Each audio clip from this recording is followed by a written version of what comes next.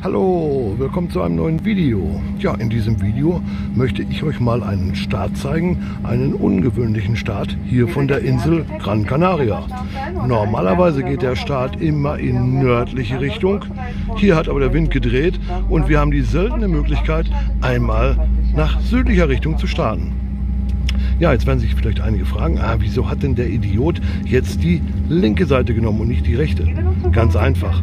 Der Flieger wird jetzt hier gleich in südliche Richtung starten und dreht dann direkt nach dem Start auf das Meer und ich möchte euch einen wunderschönen Vorbeiflug an der Insel Gran Canaria zeigen. Wettermäßig sieht es sehr gut aus, fast wolkenloser Himmel. Und ab jetzt lasse ich das mal bis zum Start eben im Zeitraffer durchlaufen. Solange will ich euch jetzt hier nicht an den Bildschirmen festhalten. Okay, wir rollen zur Startbahn.